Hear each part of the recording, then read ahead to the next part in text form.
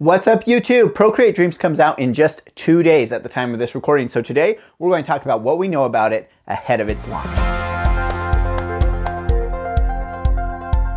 Welcome back. My name is Ben Nielsen. I'm a media design educator and today we're talking about Procreate Dreams and what we know about it ahead of its launch date, which is November 22nd, 2023, which is just two days away at the time of this recording. So I am very, very excited for this app. I did a video right when they did the announcement to talk about kind of what I thought about what they had announced, but let's kind of recap right now what we know about it right ahead of launch. So I've broken this video up into six P's because Procreate starts with P. So these are the six P's that we need to know going into the launch of Procreate Dreams. They are purpose, platform, price, price, power, performing, and privacy. So let's go ahead and hit on each of these. The first one is purpose. What is the purpose of Procreate Dreams? Well, Procreate Dreams is an animation app. It is, of course, based on the Procreate engine, which the app Procreate had some animation features in it, but this is actually a full-fledged animation app. What's its purpose? Its purpose is to do 2D animation and to do motion graphics over the top of other films. So basically, it's going to combine the really powerful brushes of Procreate with a timeline video editor,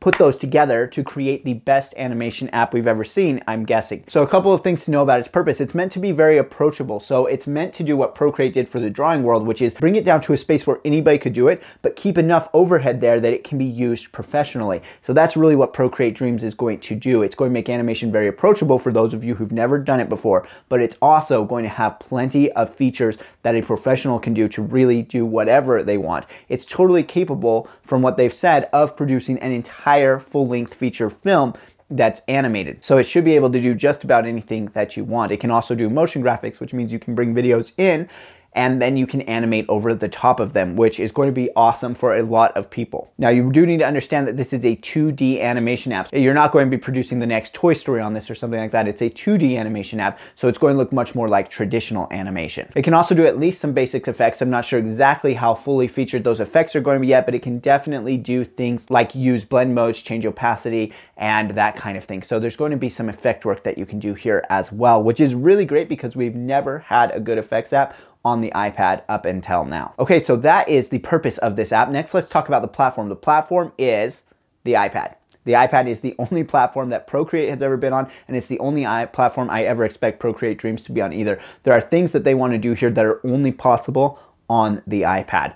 So you need to have an iPad and that iPad needs to run iOS 16 or higher in order for it to run Procreate Dreams. So any iPad that can run iOS 16 can run Procreate Dreams, but there will be limitations based on the chip your iPad has on how large of documents and how many tracks it can work with. So that's pretty normal. In order to keep it running smoothly, they will limit the amount of information that you can put into it. So of course, the newer your iPad is and the faster chip it has, the better it's going to work there. Now also, it is meant to work with an Apple Pencil. So if you don't have an Apple Pencil, I would suggest getting one if you're planning on working with Procreate Dreams because that's really the intention is that it will work with an Apple Pencil. Do not expect Procreate Dreams to come to Mac or Windows or Linux or Android. Those are just not really something that they've expressed any interest in previously, and so I don't expect this app to come to those platforms either. I know that might make some of you upset, but really the iPad has some unique capabilities that no other platform does, and that's what they're trying to take advantage of here. So if you want to be able to use Procreate Dreams, you're just going to have to go ahead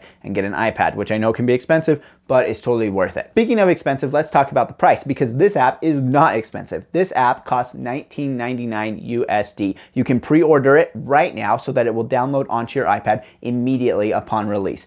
$19.99 for a fully fledged animation app is crazy, crazy cheap. I just can't believe how they can keep the cost so low. It's really important to understand that this is not ad supported and it's not subscription based. So none of that junk from other apps is going to be here. It's just you pay one time and then you use the app for as long as you want to. Next up is power. Now, of course, I have not used Procreate Dreams yet, so I can't tell you really how powerful it is yet, but it is said to be incredibly powerful. It said that it doesn't have any rendering times at all, which is just unheard of in the world of animation and motion graphics. So not to have to have any rendering times, that really shows the way it's harnessing the power of the iPad here to just make things amazing. It is said that it can do a 1 million by 1 million pixel document, which is ludicrously huge and something you would probably never need to do, but that's just a good example of the amount of power that it can harness. Now I'm assuming that that is on the newest iPad Pros, that it can do something that large and with the most tracks. And it will probably scale down from there depending on your iPad. But regardless, it is really powerful application. Next, let's talk about performing. Now I used the word power last time instead of performance because performing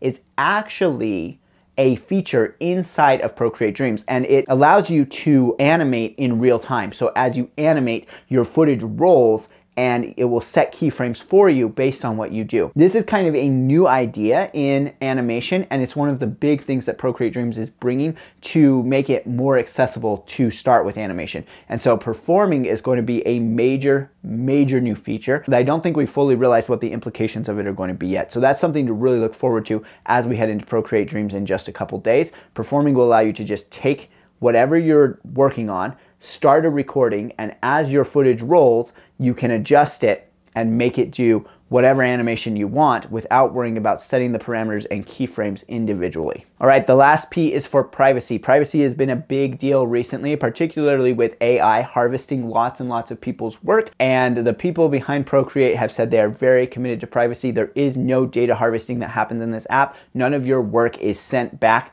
to their cloud or anything like that. If you're saving to the cloud, it's because you're using your own cloud storage like iCloud or something like that. So none of your data will be harvested through Procreate Dreams, which is really good to know and to have that assurance because we aren't getting that from a lot of other companies these days. Okay, so those are the six P's that I think are really important to know heading into Procreate Dreams. Lastly, I wanna say if you are an illustrator or an artist that's coming to animation for the first time because you're excited about Procreate Dreams, the most important thing that you need to understand is keyframes. Keyframes are the thing that you must know in order to understand animation. So I created a video a couple years ago to introduce keyframes in the simplest way possible, and you can find that right here. Go ahead and check that out if you want to be more ready for when Procreate Dreams comes out. Okay, and that is your rundown for Procreate Dreams ahead of its launch. Now, of course, I will do a reaction video as soon as I'm able to once the app comes out and I have some time to play with it. I'll do a reaction to the actual app itself, and I will work on making an intro course for you just as soon as possible. I do have a new course coming out in just the next couple weeks, which will be an introduction to creating Procreate brushes. So make sure that you subscribe and stay tuned for that as well. Okay, now I wanna hear from you. What are you excited about with Procreate Dreams?